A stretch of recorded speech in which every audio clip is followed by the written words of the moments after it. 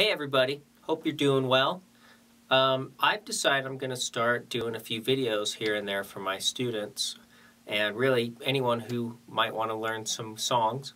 Um, just as kind of an experiment and we'll, we'll see how it goes and if you guys decide you want some more then I'll keep doing them.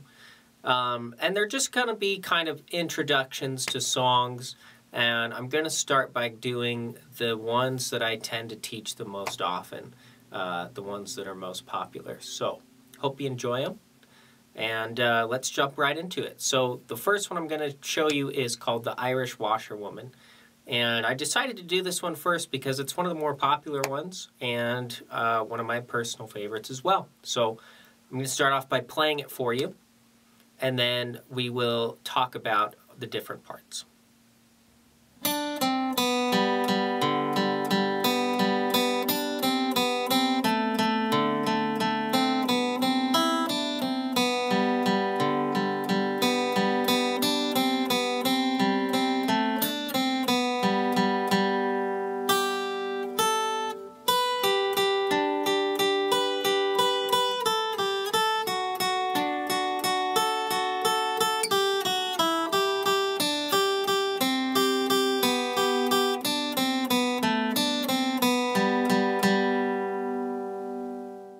Okay, so let me just kind of break the song down a little bit for you.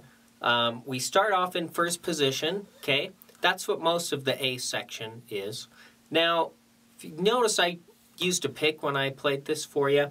Um, you can use a pick if you want, or you can use it as a finger picking practice as well. Either way works. You could even do both. I think that would be great. So, um, anyway, we're in first position for the A section. A lot of open notes.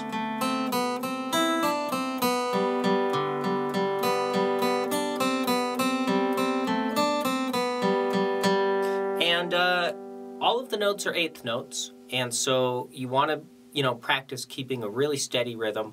Uh, we don't want any pauses where there shouldn't be, and you also want to make sure that you're not speeding up or slowing down at all. So, um, okay, that's pretty much the A section.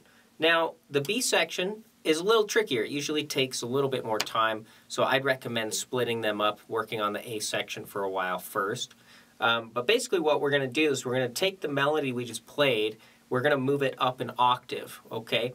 Um, if you don't know what that means, it basically means we're taking the same notes that we just played and moving them to a different spot on the fretboard. Um, and the way that I think about the B section is you're going to be playing two chord shapes, okay? So instead of thinking them of them as individual notes, let's press down all three notes at the same time like you would a chord. Okay, now this first chord I would think of as a D shape, okay? So hopefully you are familiar with your first position D chord, okay? So all we're going to do is we're going to take the same shape here. We're going to move it from second fret all the way up to seventh fret. So you can see I, I kept my fingers in the same shape there. Okay? And then you're going to press all three down at the same time. Just like that. Okay? So that's the first chord shape. The second chord shape is a D chord. Um, and what you're going to do is you're going to use first finger on 5th fret, pinky on 7th fret, and ring finger on 7th fret as well on the 1st, 2nd, and 3rd strings. Okay? Now, this chord tends to be a little trickier because it's a, a bit more of a stretch, so you might have to practice this one a bit. Um, and then the second chord sounds like this. All right, now, after you've got both of those chords out of the way, we're going to transition back to first position uh, where we started in the A section. So you have this, this part where you have to play fifth, third, second, A, G, F sharp. And I find it best to just use one finger, okay? So going from this shape, I'm just going to use my pointer finger. Okay, and then we get to the last part of the song. Um, it's kind of this part where we we play this descending melody, uh, and then we keep going back to a G note. Okay, so it's like E G G D G G C G G B G G. Um, so if, if you notice, I I held that G note down